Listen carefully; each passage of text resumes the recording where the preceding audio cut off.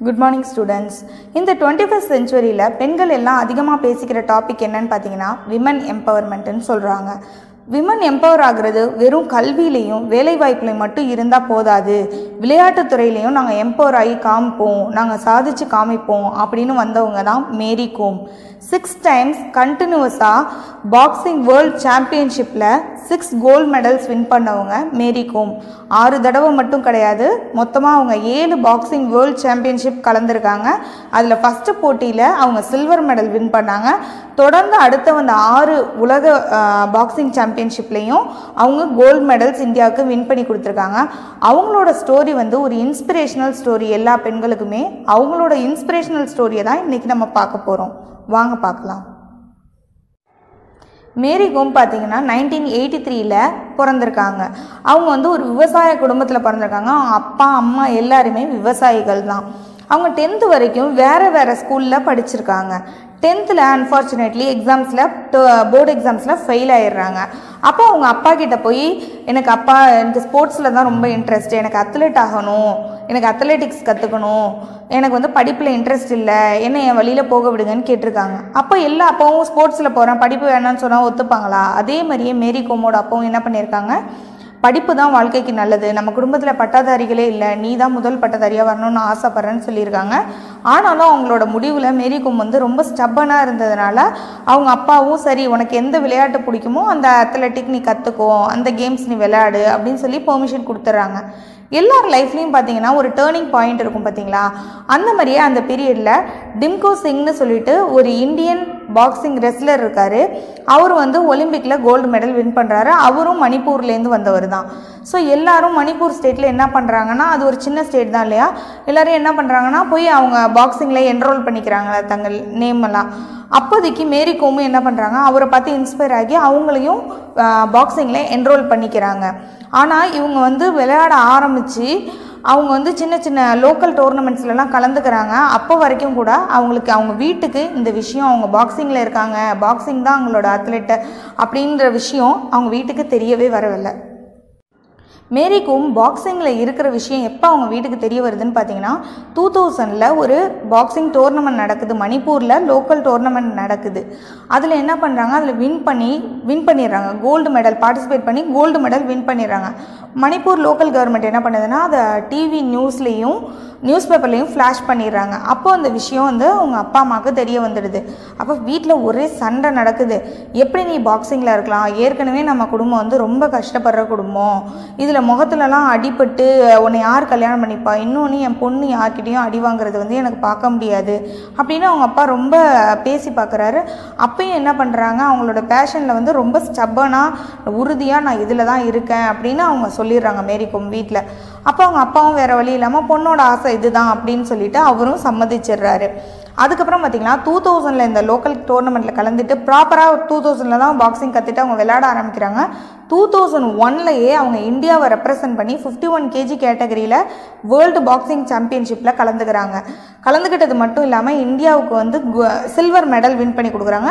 Gold தான் first medal second medal வந்து silver medal அவங்க செகண்ட் ப்ரைஸ் uh, வாங்குறாங்க. சில்வர் மெடல் வாங்கினோன்னே இந்தியாவே ரொம்ப கொண்டாடுது. எப்படியோ செகண்ட் ப்ரைஸ் வந்துட்டாங்க இல்லையா ஒரு பொண்ணு இந்தியாவிலேருந்து ஸோ ரொம்ப கொண்டாடுறப்போ அவங்க வந்து அந்த கொண்டாட்டத்தை மறுக்கிறாங்க. எனக்கு வந்து ரெண்டாவது பரிசு வாங்குறதும் தோல்வி அடைகிறதும் ஒன்று தான் எனக்கு வாழ்க்கையில் ரெண்டாவதாக வர்றது பிடிக்காது. எனக்கு வந்து எப்பயுமே வந்தால் ஃபஸ்ட்டாக வரணும். நான் இந்தியாவுக்கு வந்து கோல்டு மெடல் வாங்கி தரல. ஸோ இந்த கொண்டாட்டத்தை நான் அனுமதிக்க மாட்டேன். எனக்கு இது வந்து ஜெயிச்சதாக நான் எண்ணிக்க மாட்டேன் அப்படின்னு சொல்லிட்டாங்க. டூ தௌசண்ட் ஒன் பாக்ஸிங் சாம்பியன்ஷிப்பில் சில்வர் மெடல் வாங்கினதை ஒரு எக்ஸ்பீரியன்ஸாக வச்சுக்கிட்டு அவங்கள தன்னைத்தானே ஹார்டாக ட்ரெயின் பண்ணிக்கிட்டாங்க. ஹார்டாக ட்ரெயின் பண்ணால் அந்த டூ தௌசண்ட் ஒன்லேருந்து டூ தௌசண்ட் டூலேயே அடுத்த வேர்ல்டு பாக்ஸிங் சாம்பியன்ஷிப் வந்துடுச்சு. அப்போது அந்த போட்டியில் அவங்க கலந்துக்கிட்டு கோல்டு மெடல் வின் பண்ணிட்டாங்க. டூ தௌசண்ட் டூவில் மட்டும் கிடையாது. Two thousand five two thousand six two thousand eight two thousand ten two thousand eighteen இத்தனை மேட்சஸ் இத்தனை வேர்ல்டு சாம்பியன்ஷிப்லேயும் கலந்துக்கிட்டு அவங்க கோல்டு மெடல் மட்டுமே வின் பண்ணியிருக்காங்கன்னா பார்த்துக்கோங்க. அவங்க வந்து ஒ- ஏழு பாக்ஸிங் வேர்ல்டு சாம்பியன்ஷிப் கலந்துக்கிட்ட ஒரே பெண்மணியும் மேரிகோம் மட்டும்தான். ஆறு பாக்ஸிங் சாம்பியன்ஷிப்பில் தொடர்ந்து கோல்டு மெடல் வின் பண்ண ஒரே பெண்மணியும் மேரிகோம் மட்டும்தான். டூ தௌசண்ட் ஃபைவ்ல பார்த்தீங்கன்னா இவங்களுக்கு மேரேஜ் ஆகுது. டூ தௌசண்ட் செவனில் ட்வின் பேபிஸ் ரெட்டை குழந்தைகள் பிறக்கிறாங்க. டூ தௌசண்ட் தேர்ட்டீனில் மூணாவது குழந்தை பிறக்குது. மேரி கோம்க்கு மொத்தம் மூன்று குழந்தைகள். அவங்க எல்லா தன்னோட எல்லா பேட்டியிலையும் என்ன சொல்கிறாங்க என்னோட வாழ்க்கையில் என்னோட பேஷனுக்கு சப்போர்ட்டாக இருந்தது என் ஹஸ்பண்டும் என் ஃபாதர் மட்டும்தான். இனிஷியல் ஸ்டேஜே என்னோட ஃபாதர் வந்து என்னை ரொம்ப அப்போஸ் பண்ணாலும் போக போக என்னோட பேஷனை புரிஞ்சுக்கிட்டு எனக்கு ரொம்ப சப்போர்ட்டாக இருந்தது எங்கள் அப்பா தான். அந்த மாதிரி ஹஸ்பண்டை எதுக்கு சொல்கிறாங்கன்னா மேரிகோமோட ஹஸ்பண்ட் நேம் பார்த்தீங்கன்னா கௌரங் ஆன்லர் கோம் அவரும் ஒரு ஃபுட்பாலர் தான். தன்னோட பேஷனை விட்டுட்டு நீ உன் ட்ரீம்ஸை அச்சீவ் பண்ணு அப்படின்னு விட்டு கொடுத்து நான் குழந்தைங்கள பார்த்துக்கிறேன் அப்படின்னு சொல்லிட்டு அவரு ரொம்ப சப்போர்ட்டிவாக இருந்திருக்கிறாரு. இவங்க வந்து புதுசாக குழந்த பிறந்த உடனேவே வந்து டூ தௌசண்ட் செவனில் இவங்க ட்வின் பேபிஸ் பிறந்திருக்கு. டூ தௌசண்ட் எயிட்லேயே அடுத்த வேர்ல்டு சாம்பியன்ஷிப் வந்தப்போ அதுலேயும் வின் பண்ணி கோல்டு மெடல் வாங்கியிருக்காங்க.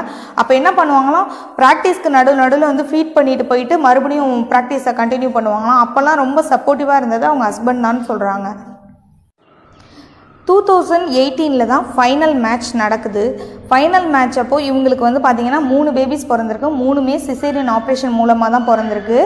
அந்த டூ தௌசண்ட் எயிட்டீன் ஃபைனல் மேட்ச்சில் பார்த்தீங்கன்னா மேரி கோமோட ஏஜ் வந்து தேர்ட்டி ஃபைவ் அவங்க ஆப்போனண்ட் பாக்ஸரோட ஏஜ் பார்த்தீங்கன்னா வெறும் டுவெண்ட்டி டூ எல்லாரும் என்ன சொல்கிறாங்கன்னா ஏஜ் ஸ்பீடு மொபிலிட்டி எல்லாத்துலேயுமே டிஃப்ரென்ஸ் இருக்குது இவங்களுக்கு எல்லாமே அகெயின்ஸ்டாக பேசுகிறாங்க இந்த ஏஜ் இருபத்தி ரெண்டு வயசுக்கும் முப்பத்தஞ்சு வயசுக்கும் ரொம்ப வித்தியாசம் இருக்குது இந்த ஏஜில் அவங்களால வின் பண்ண முடியாது. கோல்டு மெடல் இந்த தடவை கண்டிப்பாக மேரிகோம் தவற விட்டுருவாங்க அப்படின்னு சொல்கிறாங்க ஆனால் பார்த்தீங்கன்னா ஆப்போனண்ட்டை ஃபைவ்க்கு ஜீரோ அஞ்சு புள்ளிக்கு ஜீரோ சைபர் என்ற கணக்கில் ஒரு ரவுண்டில் கூட அந்த ஆப்போனண்ட்டை வின் பண்ண விடாமல் அந் தொடர்ந்து அஞ்சு கேம்லேயுமே அவங்க அந்த அஞ்சு ரவுண்ட்லேயுமே வின் பண்ணி கோல்டு மெடல் அடிச்சிடுறாங்க. அப்போ இந்த இந்தியாவே அவங்கள தூக்கி சுமந்து கொண்டாடுது. டூ தௌசண்ட் எயிட்டீனில் நடந்த வேர்ல்டு சாம்பியன்ஷிப்புக்கு அடுத்த வருஷமே டூ தௌசண்ட் நைன்டீனில் ரஷ்யாவில் உமன்ஸ் வேர்ல்டு சாம்பியன்ஷிப் பாக்ஸிங்கில் நடந்துச்சு. அந்த பாக்ஸிங் காம்படிஷன்லேயும் நம்மளோட மேரி கோம் தான் வந்து third prize bronze medal win பண்ணியிருக்காங்க. ஸோ டோட்டலாக அவங்கக்கிட்ட எயிட் வேர்ல்டு சாம்பியன்ஷிப் மெடல்ஸ் இருக்குது அதில் ஒன்று சில்வர் ஆறு கோல்டு ஒன்று பிரான்ஸ் மெடல் இருக்குது பார்த்தீங்கன்னா நம்ம எந்த பேக்ரவுண்ட்லேருந்து வரோங்கிறது நமக்கு முக்கியமே கிடையாது. நம்மளோட பேஷனுக்கான ஸ்கில் செட்டை நம்ம வளர்த்துக்கிட்டோம்னா அந்த பேஷனை வந்து ஈஸியாக அச்சீவ் பண்ணலாம். வழிகள் இல்லாமல் எந்த வெற்றியும் கிடைக்க போவதே இல்லை. எல்லா வெற்றிக்கு பின்னாடியும் பல வழிகளை கடந்து தான் நம்ம இப்போ வாங்க போகிறோம் ஸோ இந்த இன்ஸ்பிரேஷனல் ஸ்டோரியை வந்து நீங்கள் மோட்டிவேஷனாக எடுத்துக்கிட்டு நீங்களும் உங்கள் வாழ்க்கையில் என்ன உங்களுக்கு பேசணும் அதை தொடர்ந்து முன்னேறணும். Thank you students meet you in next class with another interesting topic